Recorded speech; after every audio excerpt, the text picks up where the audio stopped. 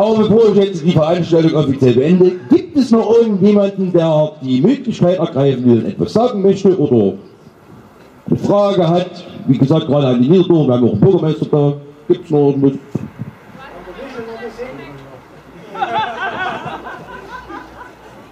Ja.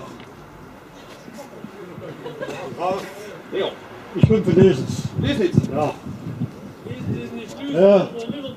Liebe Niederdorfer, liebe Anwesende, ich, ja, bin kein Redner.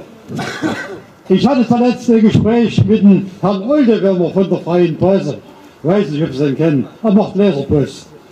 Mein Anlass, der, der, mit ihm zu reden, ich habe äh, mit ihm telefoniert, ich habe kein Internet, habe mit ihm telefoniert und ich habe gesagt, was haben Sie sich denn da gestern erlaubt mit Ihrer freien Presse, diese gescheiterte Kanzlerin auf der ersten Seite zu veröffentlichen? Riesengroßes Bild.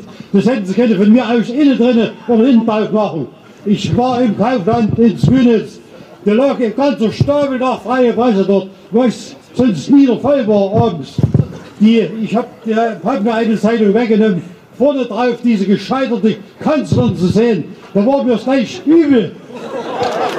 Und ich habe ich hab dann die Leute beobachtet, die dasselbe getan haben wie ich.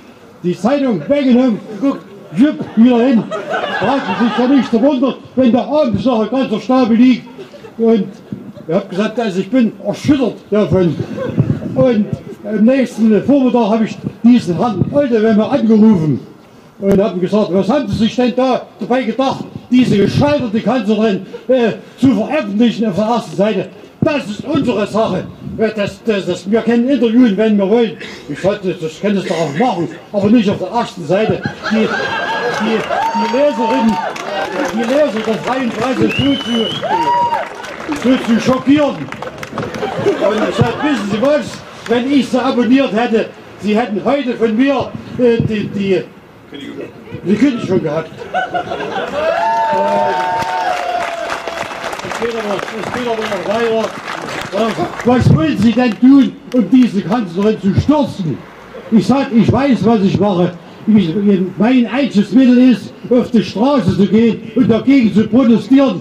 In aller Form. Ja, also, wie ich, wie ich merke, die Antwort von ihm, wie ich merke, gehen Sie zu, zu Begina und, äh, und klatschen Beifall für die Redner. Ich sage, gewarnt sich schon einmal bei Begina, gehen Sie mal hin, so friedlich und so sachlich, wie es dazu geht. Ich, das, das finden wir nicht gleich wieder.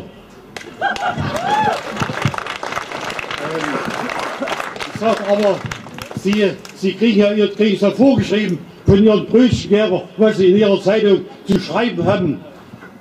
Bei mir ist, hat sich das absolut erledigt. Ich werde ein großes Bogen machen. Ich werde Sie nicht mehr auf der ersten Seite angucken. Ich, er, hat, er, konnte nichts, er konnte dann nichts mehr sagen.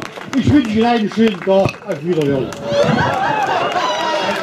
Das, das ist unsere freie Presse. Pfui Teufel!